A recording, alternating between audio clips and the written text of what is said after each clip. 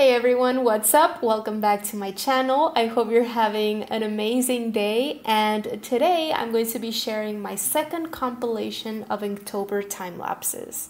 I hope that all of you artists and illustrators out there participating in Inktober this year are having fun with this challenge and not allowing it to stress you out too much.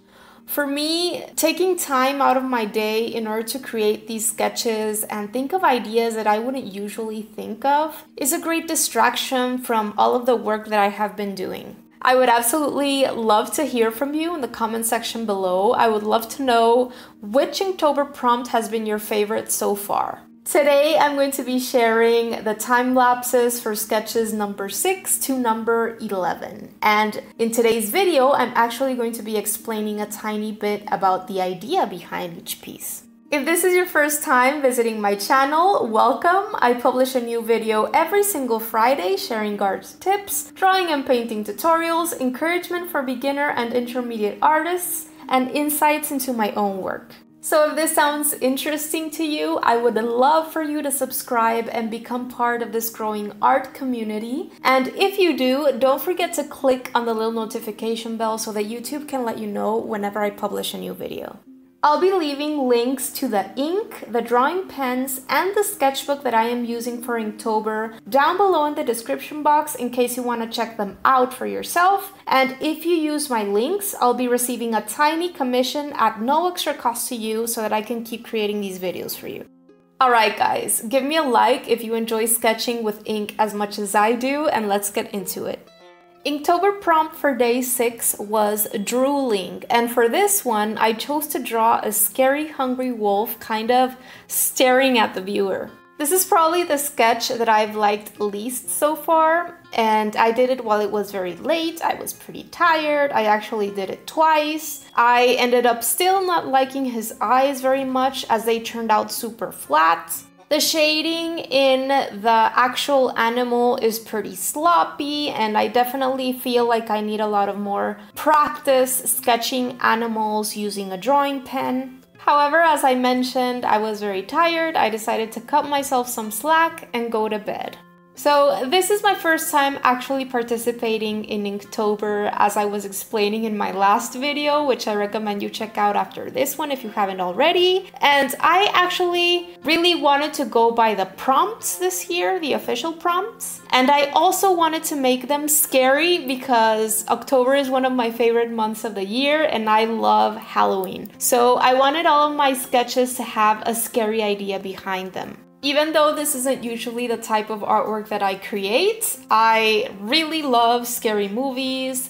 I grew up watching TV shows like Twilight Zone, Tales from the Crypt, Creepshow, and I grew up reading Stephen King novels because my parents were total fans and had all of his books. So I kind of have a very active imagination when it comes to scary stuff. So I'm sorry if any of my ideas for my Inktober sketches so far have been more on the morbid side. These things are just sort of entertaining for me and that's all it is.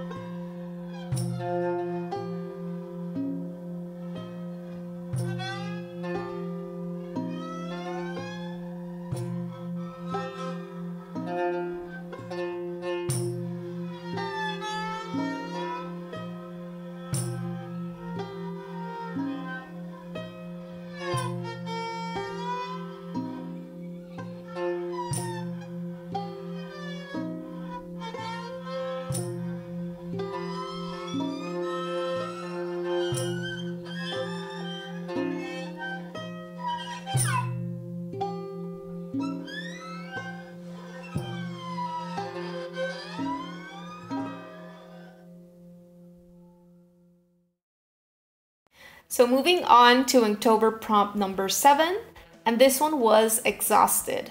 For this one, I actually used an image that I've had in my mind for years and years. See, when I was younger, I just couldn't fall asleep if I didn't have my back against the wall. And the reason was because I felt that if I slept with my back facing the empty room, like something or someone would be there watching me as I slept. No matter how tired I was, I just couldn't fall asleep that way. So I felt that this would be a good idea for this prompt.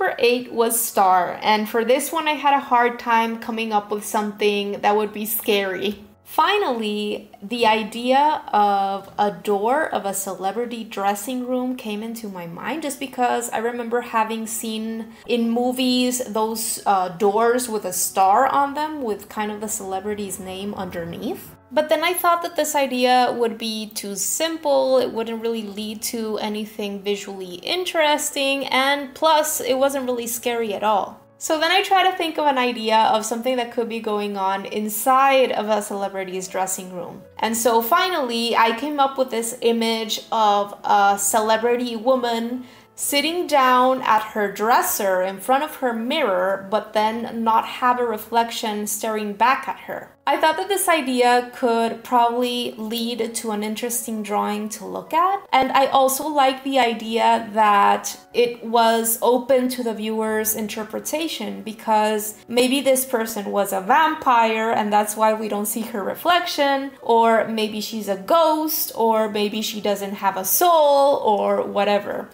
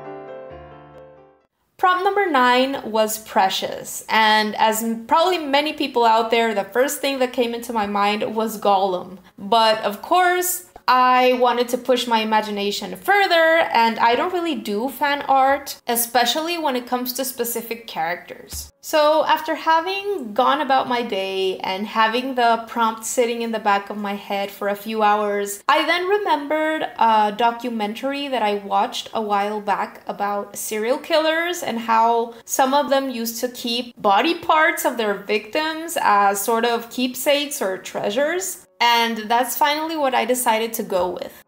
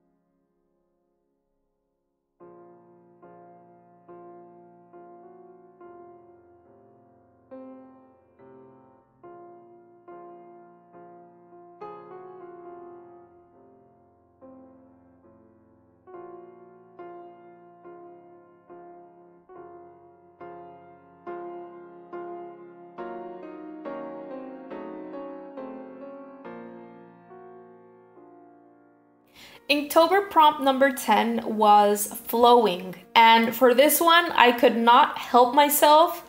The first image that came into my mind was a very known scene from the movie The Shining, which is one of my favorite movies of all time.